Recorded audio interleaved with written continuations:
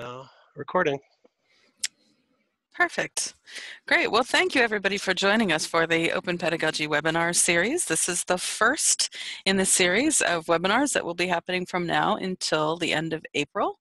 Um, this is our open introduction to open pedagogy. And for those of you uh, who know Robin and Rajiv, you know that we have the two stars to start us off, and we wanted to thank them very much for their time. I'm just going to give you a little bit of background on the webinar series, and then we'll turn this right over to Robin and Rajiv. Um, my name is Mary Lou Forward. I work for the SUNY system. SUNY is the largest uh, comprehensive system of higher education in the United States. Um, I'll come back to the webinar schedule in just a second. We have campuses across the state of New York, which include community colleges up to doctoral and uh, degree granting institutions. We have about 500,000 students a year. And this webinar series is a combination, it's a collaboration between the SUNY Fact 2 Council, which is the Faculty Advisory Council on Teaching and Technology. Um, in, uh, in that council is a group focused on uh, open education initiatives. And this year, we are focusing on open pedagogy for that task group. And so we have collaborated with the Open Education Consortium to put on the webinar series about open pedagogy. Let me turn that over to Susan to introduce OEC. Hi everyone, Susan Huggins here from Open Education Consortium. We are so excited to co-host this webinar series with SUNY and really excited to kick it off with, uh, I agree with Mary Lou, the two most excitable people I know um, when it comes to open pedagogy. Uh, we are the Global um, Open Education Consortium. We are a global nonprofit literally based all over the world and have over 240 members from 44 countries. Some of the activities we are involved in, uh, next slide, there you go. Um, we sponsor a, uh, a global uh, conference every year. This year it will be in November in Milan. We also host Open Education Week, which is coming up in only a couple of weeks and encourage everyone to go to our uh, website and check it out. And uh, a few of our other regional activities include CCCOER and a brand new one we are actually kicking off next week, uh, our Latin America regional uh, group. Uh, and at this point, I'll turn it over to you guys. Actually, let's just go give the schedule quickly for uh, okay. other webinars. If you are interested in hearing examples of open pedagogy after this webinar today, we have a lot coming up for Open Education Week, so please sign up for those. And then we continue on with our series, which will conclude with a panel from students, giving student perspectives on open pedagogy, and finally a panel on removing barriers. So without any further ado, let's turn this over to uh, to Rajiv and to Robin. Thank you. Well, good morning, everyone. It's a thrill to, to be here, and I'm so grateful to both the OEC and SUNY, who are both just incredible leaders within the open education movement, for hosting this series of webinars and for inviting Robin and me uh, to help kick things off. Uh, of course, I'm endlessly uh, grateful uh, to be able to collaborate with, with Robin. And as I load up our slides, I'm going to ask Robin to just say a couple of words to introduce herself. Hello, everybody from New Hampshire in the US, and I am um, the director of the newly emerging uh, Open Learning and Teaching Collaborative at Plymouth State University. And I also wanted to let you know before Rajiv kicks it off that the slide deck for this presentation will tweet out from my account um, in about 45 minutes. I'll also retweet that uh, to the Open Pedagogy hashtag that we're using and you'll find it all sorts of places. But it's of course openly licensed and you're more than welcome to borrow from it as much as you find useful.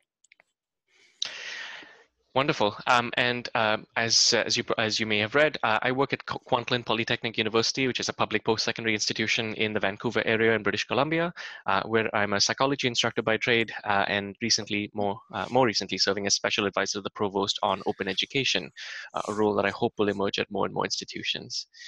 Um, so really to kick things off, we'd like to begin just by talking about a broader context. And I think even though many of us have been working within education, perhaps even post secondary education for a while, uh, it sometimes still strikes many of my colleagues by surprise when they learn about Article 26 in the UN uh, Universal Declaration of Human Rights, which talks about how everyone has the right uh, to access education and how equitable access to education is a goal. And I think even when we learn about this, our minds immediately perhaps go to the third world. I, I grew up in India, and that's a good context where you can point to, for example, way more students than the number of seats, insufficient infrastructure. And I think those are the sorts of contexts that come to mind when we talk about something like this. But I think it's important to acknowledge um, that this applies equally in North America, um, and certainly even in 2019. Uh, just quick snapshots. Roughly two thirds of US undergraduates require a student loan to meet us in the classroom. Right? Average student loan debt, just on average at this point, is hovering around $30,000. And just this last year, um, the nation hit a, a really horrifying uh, landmark or past one anyway in terms of more than 1.5 trillion dollars in student loan debt having been crossed in the country. So these are serious issues of access uh, and of course these speak to many many different things. In some cases the gradual defunding of public higher ed across your country and mine as well uh, in many cases uh, but also things like the cost of living. And in the midst of all of this, there is another uh, problem that's emerged that's quite serious. And of course, that's one of the areas that the open education movement uh, has really attached itself to.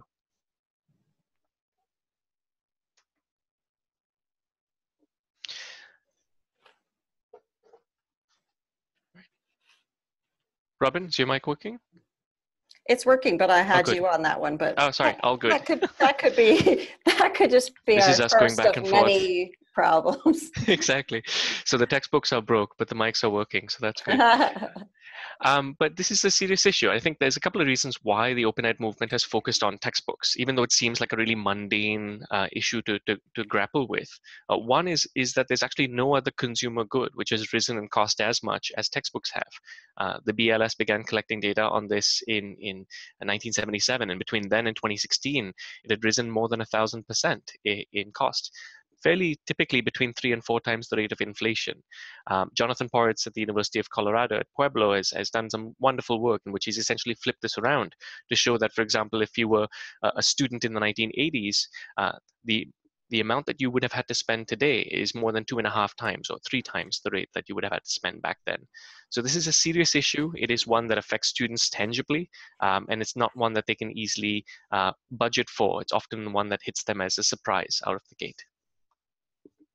Yeah, and that uh, brings us to this really interesting study that I would like to point out, um, which was actually by a, a bookstore um, uh, organization that students worry more about paying for books than they worry about paying for college, which is probably partially, as Rajiv just said, the lack of a plan for unexpected last minute costs, which of course leads to credit card debt when students are lucky enough actually to uh, have credit cards that they're able to use.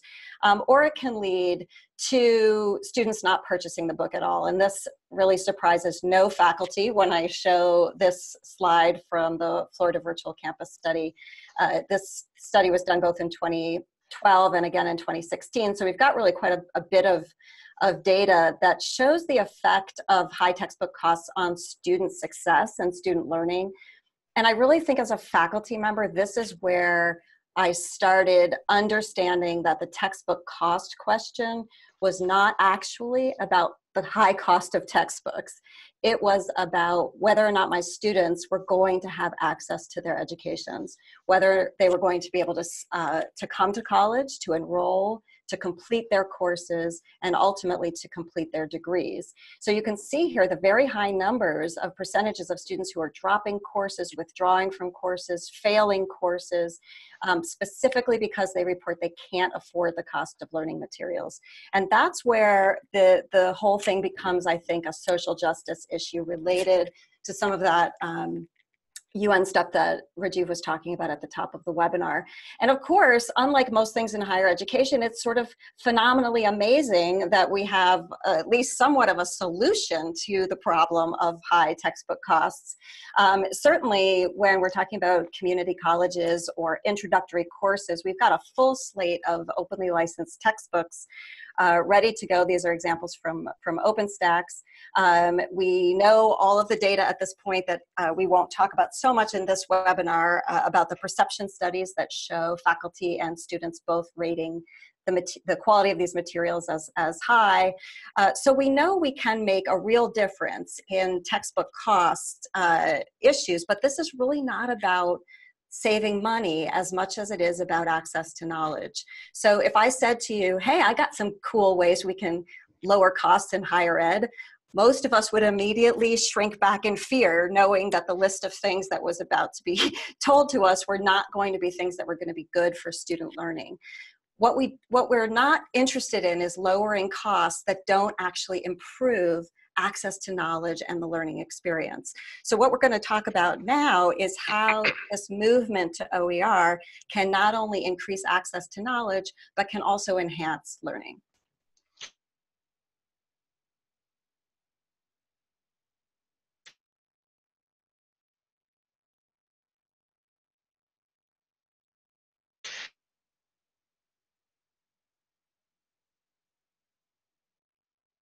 Of social justice, but that is not not uh, research that looks at the impact on educational 25 published studies so far. And if you're interested in looking at the research, I, I encourage you to visit the website of the Open Education Group. It's just openedgroup.org, where you'll see summaries and, in fact, uh, open access articles of many of this work, uh, much of this work. Uh, this is an interesting one because this talks about the sequence of what is the impact of assigning OER on student enrollment, on student persistence, on student performance, and then student completion. And all the way through, whether you're talking about uh, courses that are taught face-to-face -face or, or online, in this particular case at Tidewater Community College, uh, you're seeing gains. Um, and of course, the gains are across the board in many ways, uh, trying to at least disabuse people of the notion that, uh, that OER might do some harm. Far from it.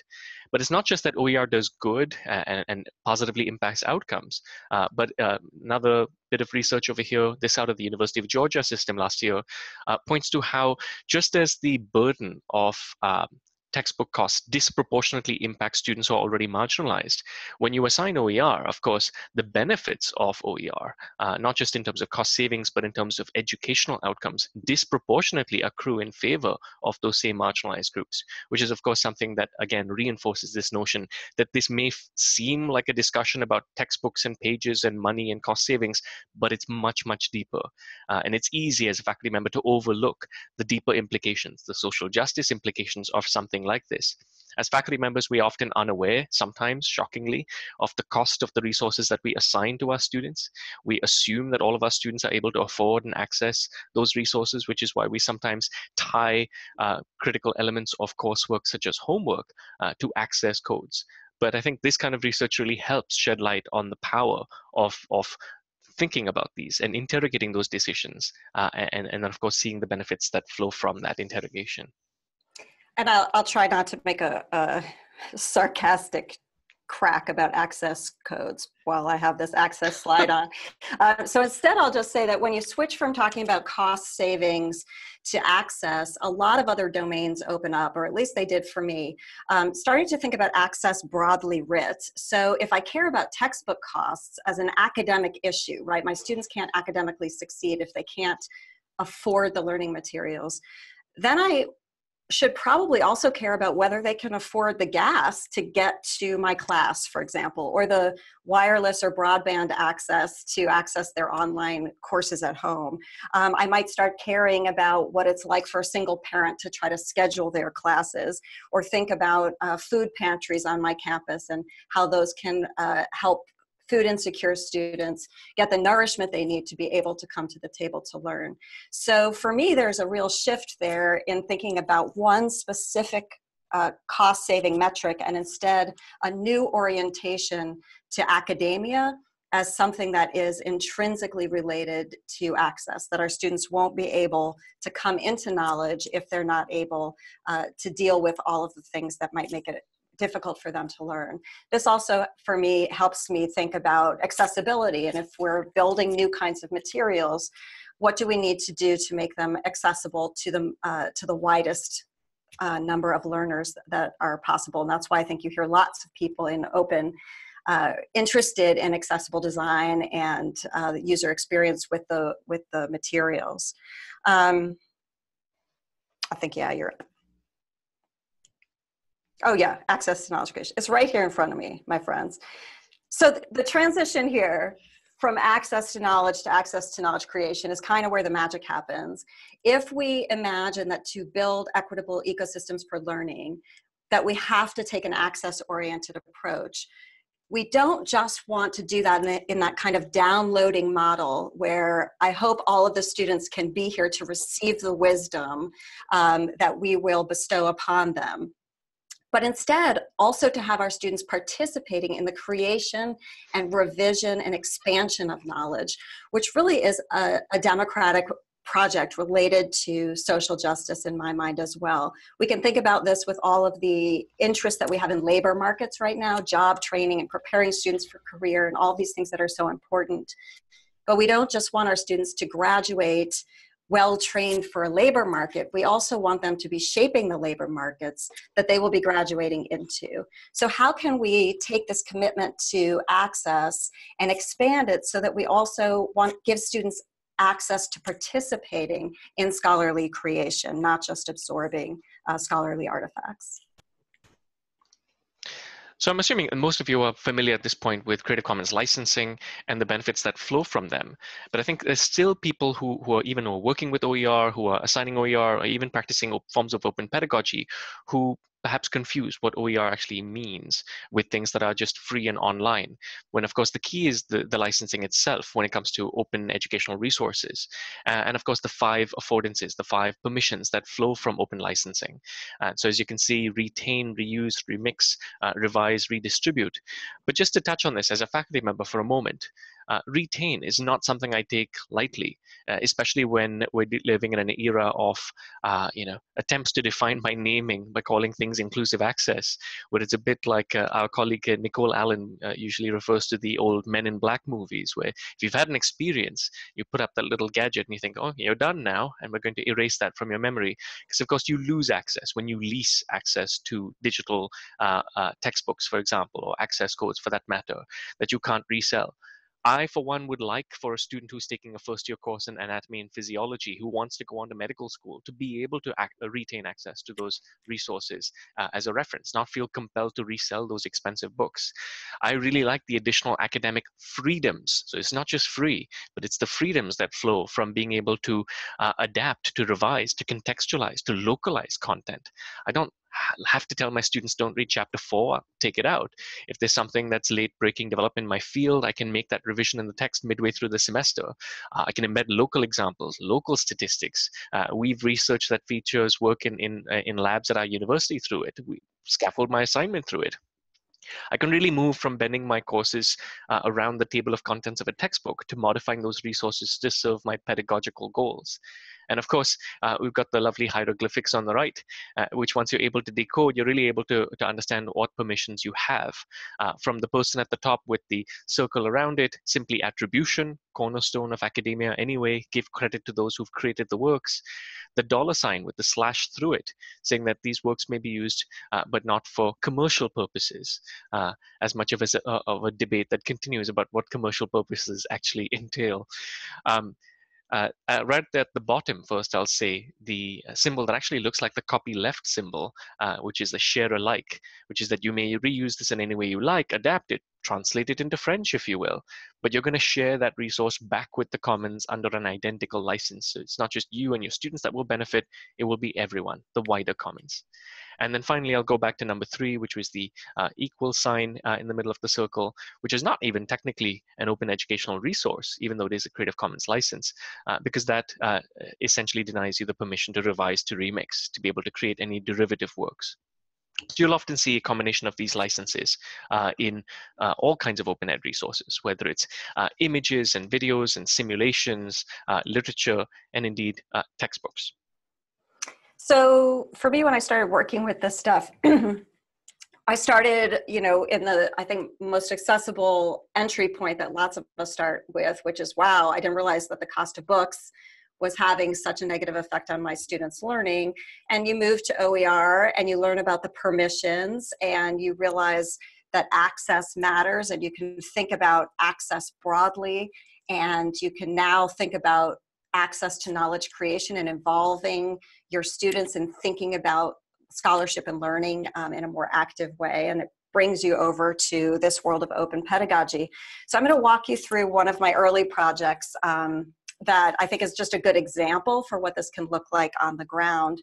Uh, this came from a class uh, where we were building the open anthology of earlier American literature that many of you may have heard about at this point. I feel like I talk about this slide all the time, but it's still such a great example that it's um, it's worth going through.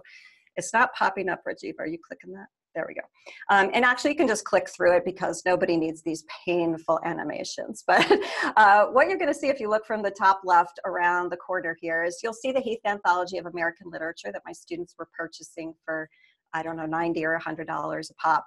Um, and of course, the great irony, which all of our librarians are well aware of, is that the Heath Anthology contained literature from roughly 1400 to 18, 1860 or so, uh, which is pretty much all literature that was in the public domain. And my students were paying a hundred bucks to like, you know, buy this collection of public domain literature.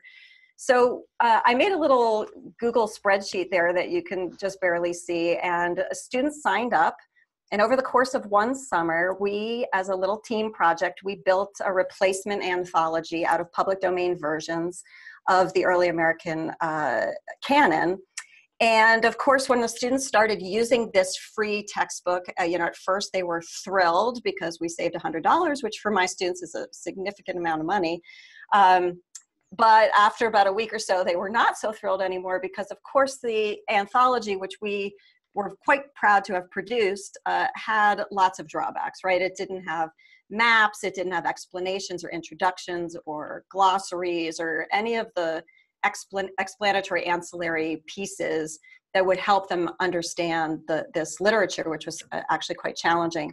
So we had this epiphany sort of as a class and realized that the students could create these ancillary, ancillary materials for the anthology as we went through the course. Um, you'll see there Hannah Hounsell wrote an introduction. Hannah works for me now. She's right on the other side of my wall. I'm so excited to see her there on my slide. Um, and uh, she wrote an intro to Christopher Columbus. You see Jonathan there. He did some videos. We dropped those and We started getting wicked psyched about all the stuff we could do with this anthology. I layered in an app called Hypothesis, which allowed students to annotate in the sidebar. Then I, of course, like all of us, stopped teaching the class, right? Because your schedule changes and you're like, man, I just started this project. But my colleague Abby Goode forked that anthology and created a new version, uh, which was you know 20 times better than anything we'd created with her students. Uh, and then it got picked up by the uh, Rebus organization, which is an ecosystem for OER publishing. And they are currently working on a really definitive volume uh, that came from my first version and a little bit from Abby's version, and then a lot of academics. That's the next slide, uh, Rajiv. Um, and you'll see if you click one more time the um, yep. uh, the other direction. Here we go. Yeah, so both of those, you'll see one more click to that. Those are the two table of contents. One is my original one that we did with the students, and the other one there is the Rebus one that's going to come out at the end of this year. Um, and they've just greatly expanded it, which is so exciting. This little seed of a project um, got the students so invested and involved in doing something that was a true contribution to the field of American literature even though they were all beginners in the field of American literature. And they didn't need to be anything but beginners to be able to contextualize and explain this literature to their peers um, and, and colleagues in the program. So it was a wonderful uh, project. I've now done this in many other classes, including classes that don't use public domain literature. So ask me how later, we could talk about it. Um, but I, I, consider this to be kind of a really great example of an open pedagogy project. Um, so if we're thinking then about trying to take some of this practice and figure out like, what does this mean? Maybe our definitions might be. Uh, there's no definition you know singular for open pedagogy. Um, and the best thing i think rajiv and i can do is welcome you into the boisterous conversation that is uh, alive and well online as people sort of wrestle this out and and enjoy thinking about it. Um, one of the sort of ways that i think about it is to kind of uh, take and push together the commitment to accessibility a commitment to uh, learner driven relationships to education, and a commitment to connected learning. So let's take a look at what those might look like. Um, you might hear the phrase student centered quite a bit. Um, and in some ways, I don't use it very much anymore just because it's become so like vapidly empty for a lot of us because who doesn't teach in a student centered institution? Nobody.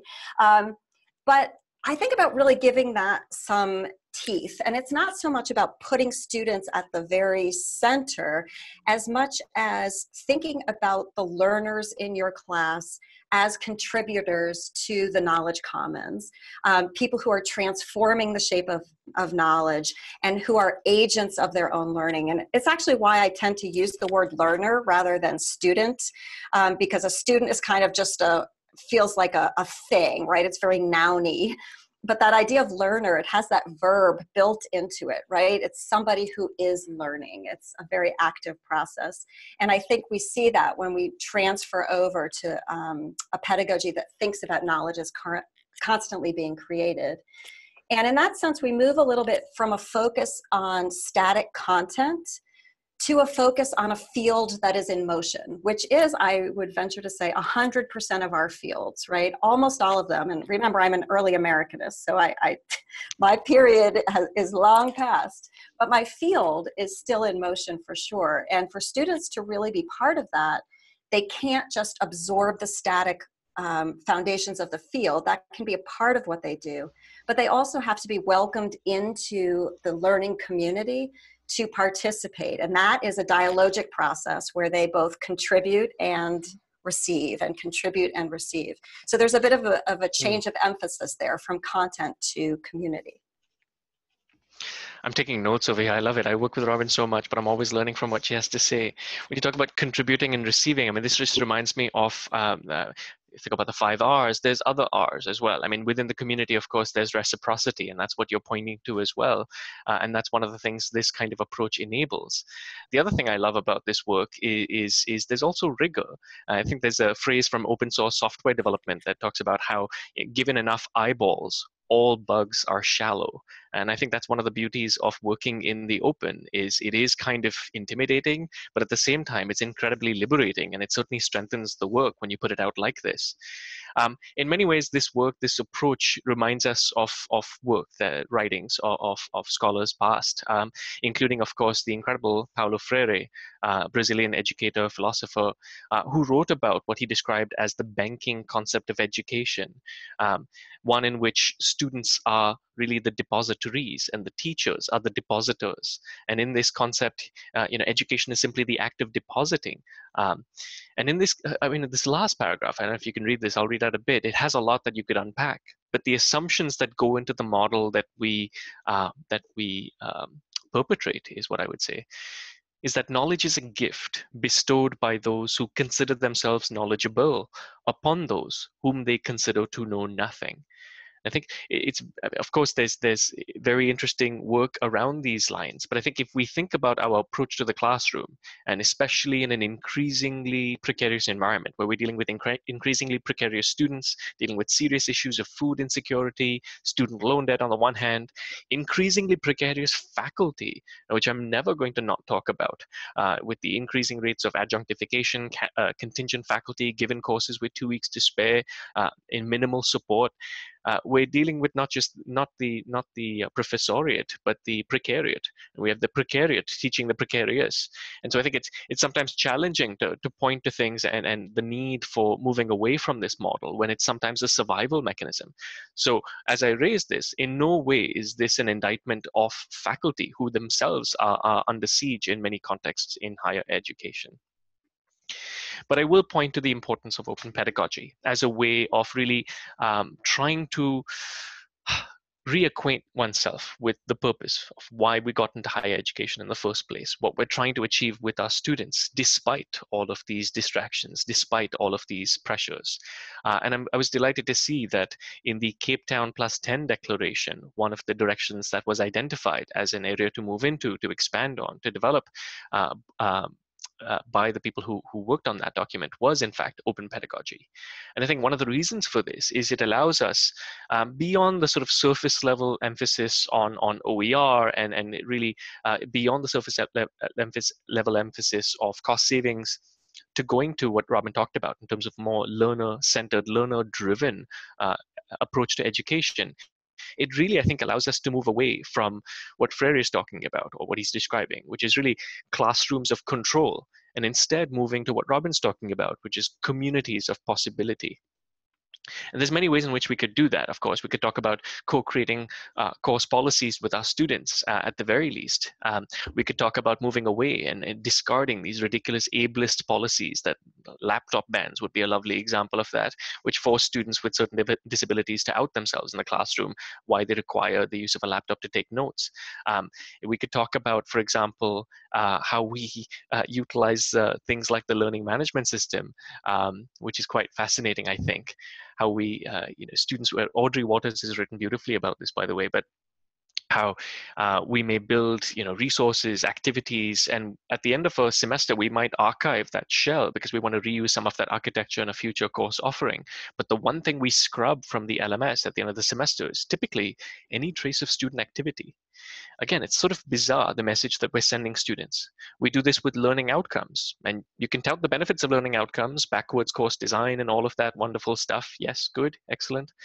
But it's weird. It's weird that I can prescribe to my students this is the direction of the journey. This is how your life is going to be different when you take this course with me. And I can tell you that before I've ever met you, because clearly you're not going to shape this journey. It's bewildering, these messages that we send our students. And then, of course, we can pick on assignments, uh, which uh, David Wiley has described variously as uh, disposable assignments. Um, I know that sounds a bit pejorative, but this is really pointing to the idea that typically students with, let's say, a traditional research essay, lab report, oral presentation, will work for hours on something. And typically, only one person ever sees their work. And the, the, the, question is, you know, could we possibly achieve the same, if we're going to use that term, learning outcomes, um, while at the same time valuing student work, trying to actually serve the wider commons, serve their skill development, absolutely, but do a lot more than that in a way that allows them to experience learning in a more authentic fashion, that allows them to find a greater purpose and see value in what they're doing as not just another hurdle to jump over, another hoop to jump through in the course of uh, accumulating additional credits. Uh, one of the organizations that has really pioneered this, of course, is the Wiki Education Foundation. And I love talking about Wikipedia because this is, I think, one of you know two dark corners of the internet for for, for academics. Uh, the first being ratemyprofessor.com, of course. And the, this is the second one, because this is like the 11th commandment of academia. Thou shalt not cite Wikipedia is essentially rubber stamped on every assignment guideline I've ever come across. It's bizarre, and it's also a ridiculous abdication of our responsibility when we know that this is the first port of call for our students, we know this is the first port of call for the public. And if we really want to be honest, and we should be, it is very often the first port of call for us who's in a better position to fix to improve this public resource? There's a lot of research, a lot of people who've been doing Wikipedia assignments in partnership with the Wiki Education Foundation. They have step-by-step onboarding guides for students, for faculty, rubrics, case studies for different disciplines. Uh, and this is just in my discipline, a quick snapshot of some of the research that's looked at what kind of goals, what kind of outcomes can you achieve when students are editing Wikipedia instead of writing another research essay, for example of course, the lovely humbling fact that if a student of mine edits Wikipedia, thousands of people will read their work, as opposed to typically, what is it, 10 people on average, if that, uh, that read a published uh, um, peer-reviewed article in a journal, an academic journal that's certainly not open access. Uh, and of course, you can go further imagine replacing an oral presentation with having students create brief instructional videos. These are stu two students at Simon Fraser University, uh, just across Burrard Inlet over here in Vancouver. Um, they created this three-minute video about the, the principles of persuasion, psychological theory. They submitted it. This video is openly licensed. It lives on YouTube right now. They won an international student video competition. So you can see recognition, monetary prize, and all of that. But the power of open pedagogy is that right now we have faculty in Malaysia, in Turkey, in Hawaii using this video to teach the science of persuasion. And that's the beautiful power of open pedagogy right there. There's all kinds of creative ways to approach open pedagogy. I'm going to touch on open textbooks again briefly because I still hear uh, the complaint, and sometimes it's really warranted uh, why faculty really need sometimes the crutch of ancillary resources, things like question banks. This is an open textbook that I helped adapt for the international context. Uh, and I knew when, when we did that work that I didn't have the ancillaries at the time. Uh, and I knew that there would be some of my colleagues who would not be able to adapt it or have the time to be able to write questions to go with it. Uh, because of course, again, you talk about survival mechanisms. Common practice is still, I'm afraid, assigning multiple choice heavy question based exams, all drawn from publisher supplied question banks to students that are auto graded on some platform. And yeah, anyway, you, you're seeing Paulo Freire's model once again. Um, but the point is, we can do something more fun. Uh, and it occurred to me that it takes a much deeper level of understanding of a concept to be able to write three plausible distractors for a multiple choice question. And so I started with my small classes of 35 students, uh, and they started by writing um, just one distractor. So substituting one distractor in a multiple choice question that I gave them. They did that for four questions. They peer reviewed uh, for uh, an additional set of eight questions. A couple of weeks later, they were swapping out two distractors, then three, and midway through the semester they were writing the stem they were writing the whole question and the peer review and the scaffolding really helped. But my small classes of 35 students were then writing 1400 questions every semester and this happened uh, back to back. So what i'm saying is i will give you the question bank uh, that you desire at some point. I, it's not yet there but it will be the polished question bank that faculty need. But in the in the immediate term it's really serving student learning deeper learning at that and then, of course, other forms of open pedagogy that surround the idea of OER. And these two dance together quite often. It's like a bit of a uh, extemporaneous, barely choreographed modern dance, really. Um, but what you're seeing over here is the work of undergraduate students at the Ohio State University uh, in environmental science, where they're writing bite-sized chunks uh, this volume is edited by the faculty in the program. So it's not just that students are capable of editing Wikipedia and writing work that will serve public understanding. It's not just that they will create instructional videos or that they're capable of doing that, that will serve post-secondary students around the world. They can write the textbook. They're very, very capable of doing that. And the energy that they pour into this work when they realize it's not just another piece of paper that's going to end up uh, in someone's recycling box makes a tremendous difference to the to the uh, atmosphere in the classroom. And then finally, layering on the top, Robin talked about the use of hypothesis with the anthology of early American literature. Here's another way in which uh, we use this. Um, this is the same open textbook, by the way, in social psychology. And what you're seeing is a screenshot of how at the top, one of my students uh, has chosen to annotate publicly. Uh, and she is essentially sharing an experience from her own life that illustrates uh, a psychological phenomenon that's being discussed. She's augmenting the explanation in the text. We can peer review this and all of that. But the students are able to make what is a otherwise uh, straightforward learning resource into a much richer, dynamic um, uh, resource for future cohorts of students. And at the bottom, another student sharing external resources uh, that um, that again illustrate the same idea, whether it's a video or something else. I certainly don't have to keep on top of what um, uh, cultural examples uh, my students might relate to this semester. Uh, Lord knows I encounter enough textbooks that still talk about uh, the 9-11 uh, for flashbulb memory, which is kind of useless uh, for many of my students today, or, or hark back to some example from, from the 1990s. My students are in a much better position to, to do this than any textbook author ever could. And I just tossed this in really quick um, to give a shout out to the University System of New Hampshire because if you're working uh, on bringing Open and open ped into your own institutions, you may feel sometimes like it's going to never gain traction. Um, but we are just seeing such exciting things after seeding for two, three years. Um, we're really starting to see, and this is the uh, particularly biology and environmental science over at Keene, getting lots of notice for the citizen science um, and the open science initiatives that they've got going. It's almost seamlessly connected between their faculty doing research and their students. Um, so it's really a, a communal um, endeavor that reaches out into the region and they're doing super exciting things. And we're really seeing that all across our system now but it did take a little while. So that's why i put that slide in there because it makes me so happy And I'll follow that shout out with another shout out, and this is also connected to a future webinar in this series uh, from our wonderful colleagues at Montgomery College in Virginia, who if I think pioneered this idea as well of connecting the work of students in the classroom to much bigger goals. In this case, they have an open pedagogy fellowship that faculty can apply to, and they work with students to, to develop, to produce resources that serve a specific sustainable development goal from the United Nations. It's a wonderful work that I think is yet another example of how our community colleges are really leading the way. They are the pioneers, they are the champions, they know exactly where things are at. They rarely are championed in terms of being the heroes who are chronicled in the chronicle, but they are the ones who are really leading uh, the edge of this work. Um, and I may just uh, yep. throw in a plug right there that if you're interested in bringing a keynoter to your institution to talk about open, we have a really wonderful Google Doc of keynoters from community colleges who are prepared to do that. So just uh, hit me up and I'll share that link with you. Mm-hmm. And by sharing this little graphic, I don't just mean to, to highlight the wonderful illustrator uh, Bryan Mathers, or, or, indeed the Audrey's writing on, on how we use the learning management system, but the broader notion of whether we think about our classrooms in this way or even the learning management system.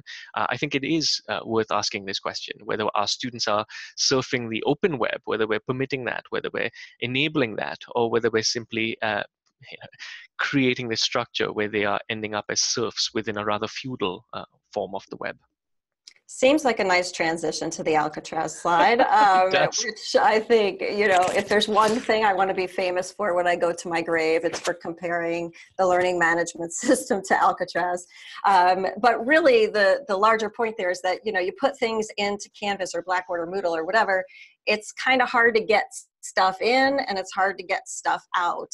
And that's actually useful and good for a, a certain kinds of projects that we do with our students. But in terms of a larger architecture for education, particularly as Rajiv was talking about with the sort of importing your course for the next semester and deleting out all of your student work. Um, I started thinking, what kind of architectures do we want to build if that's not the symbolic that we feel comfortable uh, sort of um, putting our, our, our power behind? And so I started thinking instead, what I'd really like to see us build are students would create for themselves something that felt like home. You know, we used to call it a home page, right? A, a home where you would have not shark infested waters around it, but driveways and pathways that would allow people to come in and collaborate with you, that would allow people to mentor you and help you improve your work. Um, and so that's the kind of ecosystem I started working on in our programs here. And this is where Domain of One's Own came in for us. Um, this is not probably the right program for everyone, but it certainly is an open pedagogy approach, I think. The suggestion here is that instead of locking students into a school controlled site where their work is absolutely owned by the course, uh, uh particularly symbolically, but also a lot of times they literally lose track of their work as it goes into the LMS and they, they don't have it at the end. Um, but instead to have the work live with them on a website that they create um, that reflects their own educational goals. Um, and we think of that in our program not so much as e-portfolio, like here's my headshot and my CV and like a a perfect paper I once wrote, but instead as a port of call or a portal where you can really build the kind of web that is dialogic and interactive. And um, on this next slide, you'll see one of our students, Becca, talking about doing the kind of work that feels real. And we've understood this for so many years, right? Obviously, this is not new pedagogy, right? We've understood this and, and we've talked about it every couple of years with a new word high impact practice applied learning experiential learning. But the fact is that our students want to feel like the work that they're doing is real. So instead of creating things that look real let's just do real work, right? And it actually makes it pedagogically simpler if you stop creating the hoops and instead look at the work that's relevant to the students and um, and think about trying to achieve that. So for me, I kind of think about six domains in my teaching, and three of them were domains that I think for 20 years in higher ed I worked in all the time um, and felt really good about it. Those are the, the domain of knowledge, which is kind of, you know, you you went, maybe you got a PhD in a particular area, you've got content expertise, and you want to share that with your students, which is important. Um, but you also want your students to really understand that work. They don't just regurgitate it back to you in a rote way, but they can answer questions that are related but not precisely the same. And maybe you even want your students to apply that work in some way to be able to thrive with that with that knowledge. Um, and I think my courses were quite successful just in those three domains. But once I started to work in open, domains opened on either side of that that really surprised me. The first was the question of what my students needed in order to come to knowledge. So for me, when I realized the percentage of students that were too hungry to learn, you know, it, it, it makes the content of your discipline look secondary. So, in order to get to that content, what do I need to do? This was everything from OER to opening a food pantry right outside my office door, partially just to remind myself that my students, in order to be learners, um, also have to have a lot of other needs accommodated. Um, but the most exciting thing for open pedagogy is the domains that open on the other side of that thriving or applied domain. It's that we also want our students to truly contribute to the world of knowledge. Um, even if they're beginners, to understand that we value their voices and that the world needs their perspectives and we want to help them grow into their knowledge communities. Because ultimately, we want them to be transforming their fields, um, to be transforming our world, and to be transforming the academy. I think um, the web that we inherit down the line higher ed that we inherit down the line these things are going to be built by our students. So how can we prepare them to be engaged contributors and transformers as part of their educations?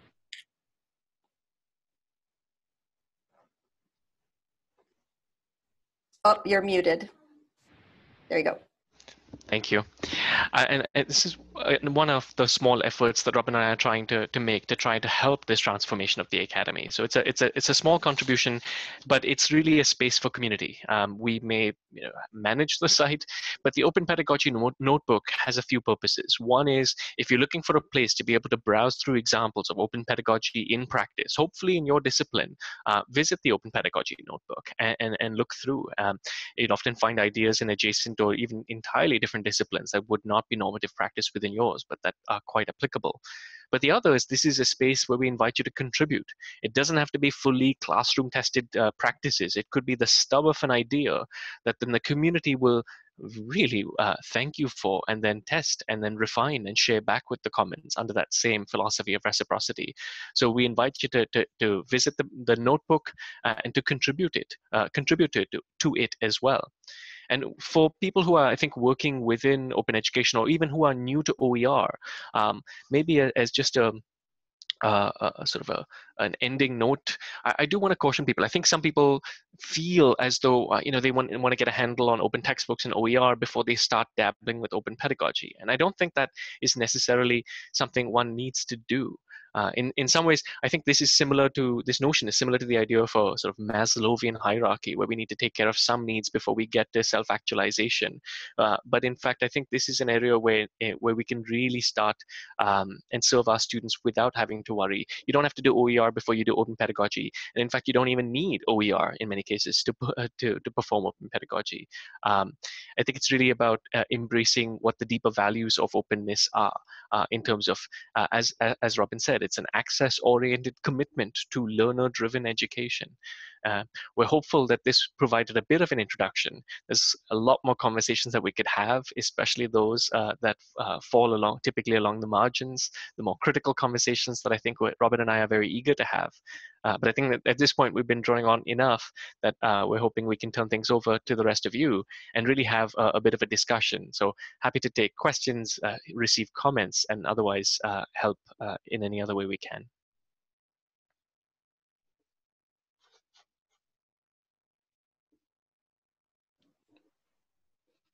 and now somebody is going to come in and tell us what is to be done because i know people have been monitoring the chat so i think mm-hmm. someone's going to pop on and uh, but we can't hear you person. There we go. Hey it's chris. So um, there were mostly comments, but the first question, um, Mary Stevens uh, asked a bunch of questions about sort of um, logistical questions, it seems like, about what to do, for example, about sites that are taken down. Uh, some material would need to be replaced frequently. Uh, and then there's another question about how do you handle multiple sections of the same course? Uh, I don't know if you're able to see it. It's 1247 is when she posted it. And the third question was, uh, do you do you do the same project, sort of creating online test textbooks every semester with new students? So multiple questions there. Um, I'll start uh, sure. with the last question um, because I'm not totally sure I follow the other ones, although I, I think I could. You know, I can always make something up. But anyway, uh, for the last question about uh, it, it, was funny because sometimes people ask me with like the open anthologies, which I do in a lot of classes now, um, co-creating open textbooks with students. People say, gosh, doesn't that kind of stink for like the next guys because the first people got to write the textbook and what do they do? Obviously, you're not going to throw it out and start over. And it's actually kind of stinks for the first people because I don't know that it's all that fun to like scrape the web for the stuff that you need and like just do the okay somebody's got to write the section on blah right the the nitty gritty what really became fun for us when we were co-creating textbooks were was in future iterations of the course when students could start um, shaping and repackaging the stuff around new themes adding new materials in the margins. But think about it this way with the Open Anthology of Early American Literature, you can create a whole new anthology on race and freedom in American literature. You can use all of the same texts, but you can write all new introductions. It's kind of a different way, in fact, of writing a research paper in a lot of ways. So we realized that once you have the the basics of the foundation of the content, that's when it really gets fun for students to add in additional things and reshape those textbooks. So I found it got, it actually gets better and better every semester when you're doing that kind of work with with students. Yeah, and I'll try and pick up on the uh, the first few questions as well. Thanks for those questions, Mary. Um, I think uh, there's issues that you're glancing at that I think are worth talking about over here, the deeper issues. So when you when you talk about sites that are taken down, to me this is this is highlighting the problem of working with, for example, and especially tying our students and their work to proprietary platforms and technologies. This is why I think so many people practicing open pedagogy uh, try to rely on community-owned open infrastructure and open edtech resources. Um, because I think if we're if we're able to host it at the university, if we're able to work with organizations like Wikipedia, uh, especially where there's an archiving, that's typically less of an issue. Uh, but certainly, even if you're doing domain of one's own in WordPress, uh, you do have the ability to to archive and then, of course, restore under uh, on open source platforms as well. Um, the second question about handling multiple sections, I think, is really also an interesting uh, pedagogical question. I think there's no right answer, but of course, I think I've seen successful approaches in different ways. I've seen cases of where you take the same resource and you essentially clone it because you can, especially with an open ed resource in a, in a platform like Pressbooks, for example, and have different cohorts of students work on it in parallel, uh, work on different versions of it separately. But I think there's real power in being able to run courses as open boundary courses. Uh, so supporting students within your classroom as much uh, uh in the best ways you can, but allowing them to interact with those outside of those walls of those classroom meetings. Uh, I think moving to an, another section uh, is not a terribly difficult way to, to, extend oneself, but I like to see it even go even further, of course, where even informal learners on the open web are able to interact with uh, students who are taking your course, for example. Uh, but I think it's really it's really up to you. Um, I think there's ways in which you could harness different students, different classes working on the same resource, the same open pedagogy project that allows you to bring in elements of pure uh, assessment.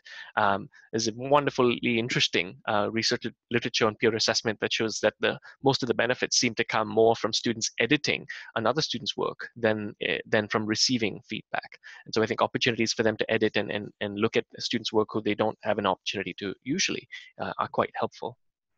And I'm, I'm just going to jump in real quick uh, to respond to Lee because I happen to see one thing in the chat uh, as it's all flying by um, about talking about when I say you can do this with non public domain literature. Um, yeah, so I've done this in a first year seminar and I've done this for our interdisciplinary studies program. So, for example, our, my students are in the middle of a three year build of a textbook called interdisciplinary studies, a connected learning approach. And in the first semester of the build, we used a commercial textbook and I lectured a lot. You know, we looked at the content. Most content in foundational textbooks is not proprietary because if it was it wouldn't be in the foundation of an, of an introductory textbook.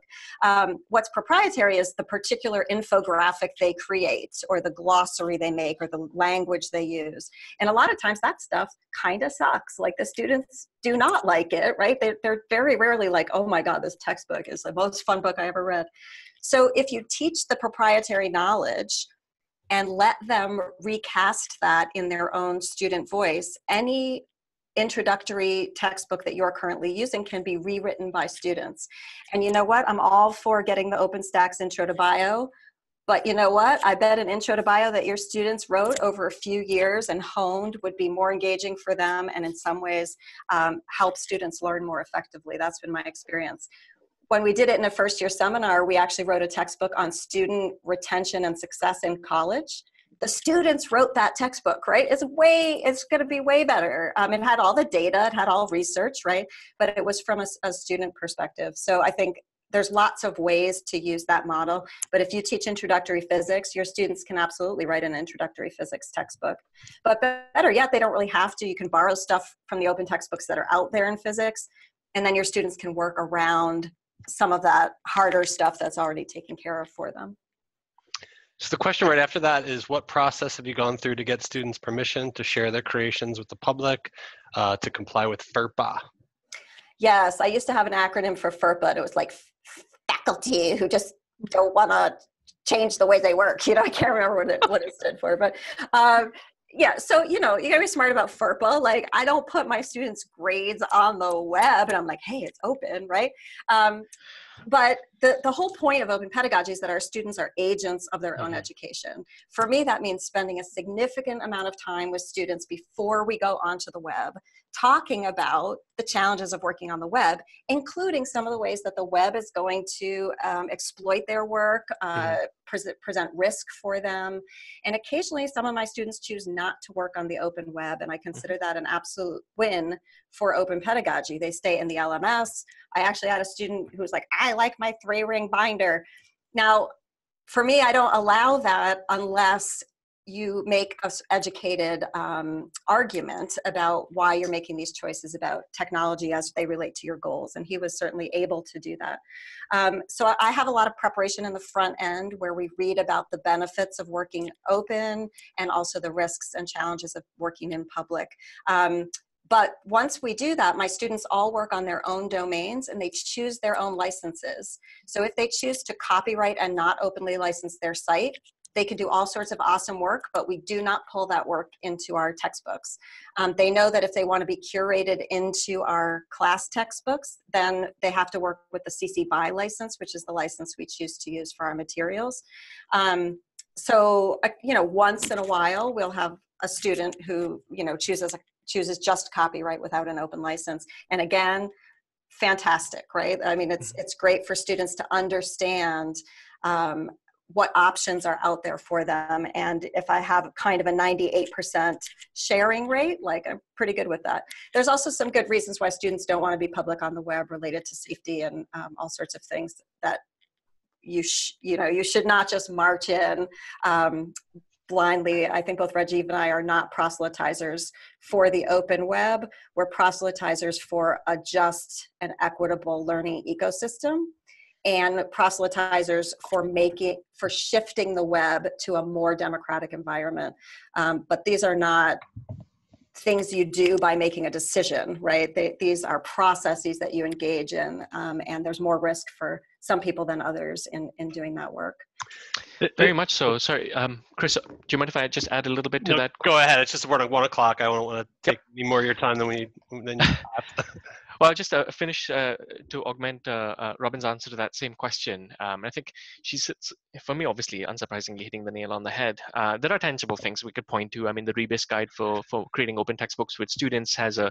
sample MOU for working with your students. The Montgomery College for the Open Pedagogy Fellowship has a, a, a draft sort of agreement that they have. So you can use these as models. So even in Canada, we have privacy guidelines. But for me, I think it's really interesting that these questions come up when we're talking about open pedagogy, when these are really conversations that should be happening in any classroom, even if you're not doing anything remotely related to open pedagogy. These are skills, literacies that need to be developed in conversations that need to be had as students uh, uh, move through their education, I think. So I'm really glad to have those conversations. Um, if we're going to serve students, I think we do have to serve them well. And so, uh, again, uh, informed uh, uh choices, uh, making that possible, making them aware of the implications of their work, uh, specific strategies, working with the learn- within the learning management system. Uh, even with something like Wikipedia, you can do that until it reaches a certain threshold. Um, as uh, as even and for the student for the to be comfortable for their work to go public, um, they may choose for it not to. That's fine. They may choose for it to uh, to be public but not linked with their identity. That's fine. There's a range of choices, uh, and I think making sure that those choices are, are informed and then enabled is, really key. Um, so I think uh, that's probably all I'll add uh, to that for now. But I think the fact that you, I mean, I'm glad that this question is being asked. It is a critical question. Um, I would like that question to be asked a lot more uh, with other elements of student training, including, for example, when we um, uh, assign uh, not just access codes, but platforms uh, commercial proprietary platforms that in fact scrape and monetize student data uh, we should be having those conversations even and, and perhaps especially under those circumstances uh, and not uh, not indeed just with open pedagogy. There's one more question if you all you both would just i think it relates that i think i'd like to hear your opinion on, on it. Um, and someone asked about uh, student co-creation. How can we make sure they are compensated and that their work is valued particularly given the challenges to, to many students simply surviving that Robin points out. I've grappled with this. Yeah, so when we did the open anthology, I did it over a summer, and my students were not enrolled in a class with me, and so they were not compensated. So I, I paid them, um, you know, cash eh, out of my pocket because no one had heard of open education back then. Now you can get grants, right? Um, and your your institutions will have some seed money. But in general, one of the reasons I like doing this in a class is, you know, I come from an institution. We have a four four teaching load, um, very high load. Many people teaching in community colleges have last one I was working with, they had a 552 teaching load. Um, this is academic labor to create open resources. So even though they're free to use, they're not free to produce. And that mm-hmm. means acknowledging the student labor and acknowledging um, faculty labor one of the benefits of doing it in a course is that it can become part of the pedagogical sort of payback of the course. So I don't pay my students cash when it's their assignment, you know, to be working on an introduction about Christopher Columbus, and they feel great about that. Um, it also becomes more a part of my prep and my teaching so that I, I also feel um, that I can fit it into my very busy workload. Um, other than that, I would say uh, it's really important if you're working on an open initiative, maybe particularly with your faculty and particularly with contingent faculty who are doing the lion's share of teaching, um, particularly in the United States. Uh, if you are working with people and asking them to innovate in these ways, to realize that they need to be compensated for the extra time that that takes and the pedagogical innovation uh, also takes time. The payback on retention um, the, the data that we have for how this serves students is growing every day um, and the investments you have that institutions have to make are very modest. Um, but but i would say not to do it uh, without making sure that we're not further exploiting um, mm people's good goodwill. I agree, and I think uh, for students, I'm glad this is being raised about students. But uh, as Robin says, it's especially for non-regulars, we say, or, or contingent or adjunct faculty as well. I think if we in some sense reserve the creation of OER, publishing of open textbooks even, for those who are privileged enough to be able to say, I'm going to forego compensation for this intellectual work. Um, or at least be severely undercompensated for, for, that, for, that, for that academic labor. We're really reserving the privilege of OER uh, for people uh, with certain backgrounds, certain ideologies. And in, in an odd way, uh, the same tool that could be used to really dismantle or challenge um, existing power hier hierarchies is being used to reinforce and erect those same hierarchies. So I think we have to be careful about this. Um, if the ideology of privilege is then overrepresented in the text of the OER itself as a result of this kind of practice. So I think it's an excellent question. Um, there's different different approaches. I think uh, one is again the the oddness of uh, this uh, this question being raised uh, with open pedagogy even though i love the question uh, because of course with regular let's say disposable traditional assignments let alone compensation there's no recognition and there's no motivation or little motivation uh, for students.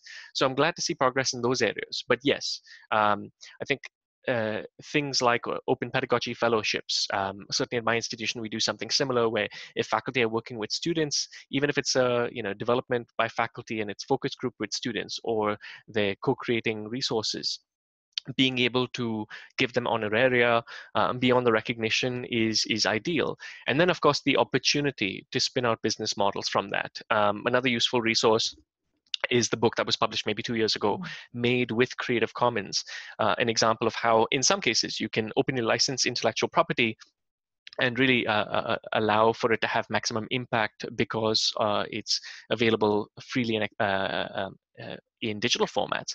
But then, of course, being able to monetize things like print formats, if you, depending on what you're talking about, it could be print copies of anthologies, it could be other sorts of tangible resources or other services that are built around those. Uh, but I think it's an excellent question, and I would love to see better models for being able to uh, recognize the efforts of students. Uh, certainly, with the best of intentions, I think the open education movement is capable of perpetrating real harm. And one of the ways it, it, it could do that uh, is if it uh, ignores these questions of um, equity um, and not just if we're going to talk about equitable access to knowledge creation we need to make sure that it truly is equitable. Um, so i'm glad that that uh, that this is uh, yet another forum where this question's been raised. And and those uh, people and we're talking about SUNY over here uh, are, are, in a really good position perhaps to explore uh, and develop new models better models to be able to um, recognize um, the the academic labor especially by students Great. That was actually a, a, great ending comment. So we will take that back to the Faculty um, Council on Teaching and Technology. And I think that's something that we can grapple with going forward. Um, so I want to thank you so much to Robin and Rajiv for your time, for your wisdom, and for your motivation um, today. This was really wonderful. Uh, and thank you to everybody who attended. We hope to see you on future webinars. I did put in the chat that this uh, recording will be available on the webinar schedule site. So please click on it there. As Robin said, you can follow her on Twitter and get links to the uh, slides immediately. It'll also be under the Open Pedagogy hashtag. And so uh, again, thanks to everybody and we will see you next time.